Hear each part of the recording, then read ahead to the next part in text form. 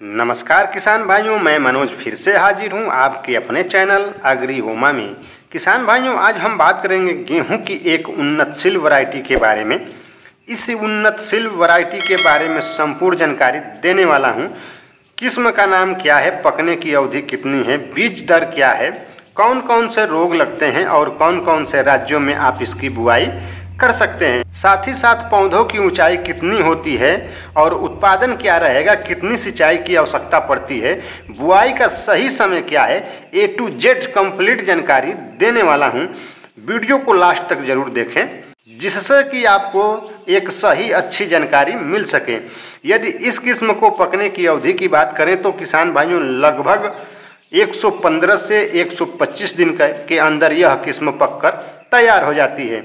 बीज दर की बात करें तो किसान भाइयों 40 किलोग्राम प्रति एकड़ के हिसाब से यदि इस किस्म का चुनाव करते हैं तो बहुत ही शानदार पैदावार निकालकर यह किस्म आपको देती है। बात कर लेते हैं रोगों की तो रोग के प्रति यह काफ़ी ज़्यादा सहनशील है और रोग किसान भाइयों इस किस्म के अंदर काफ़ी कम देखने को मिलते हैं।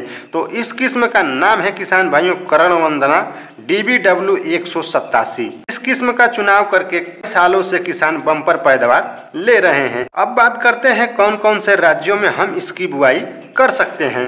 पंजाब हरियाणा, उत्तर प्रदेश, गुजरात, बिहार, असम, पश्चिम बंगाल आदि राज्यों में कर सकते हैं। पौधों की ऊंचाई की बात करें तो इसके पौधों की ऊंचाई लगभग 100 सेंटीमीटर के आसपास किसान भाइयों देखने को मिल जाएगी। यह गेहूँ कम लंबाई होने के कारण नीचे नहीं गिरते हैं।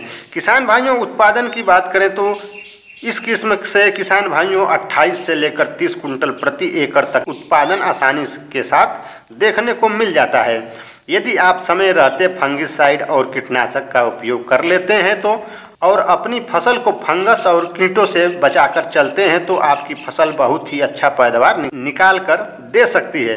किसान भाइयों, बात कर लेते हैं सिंचाई की। तो सिंचाई की आवश्यकता इस किस्म को, तीन से चार सिंचाई की आवश्यकता इस किस्म को पड़ती है। तो किसान भाइयों, तीन सिंचाई इस किस्म की आप कर देते हैं तो तीन सिंचाइयों में आपको बहुत ही अच्छी पैदावार भाइयों, यह दे सकती है। अब बात करते हैं बुआई की। तो बुआई करने का बिल्कुल सही समय किसान भाइयों, एक नवंबर से लेकर दस दिसंबर तक है। यदि आप इसकी बुआई करेंगे तो यह आपको अच्छा पैदावार अच्छा उत्पादन दे सकती है।